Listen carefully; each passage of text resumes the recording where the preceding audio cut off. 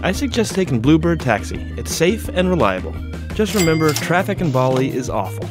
So if your hostel's close enough to the airport, feel free to walk like this girl did.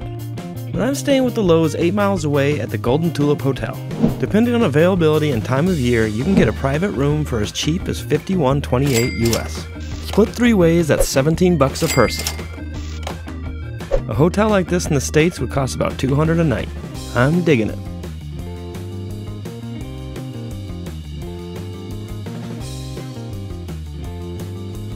To watch the full episode of Dirt Cheap with Chas Bruns, click the link below.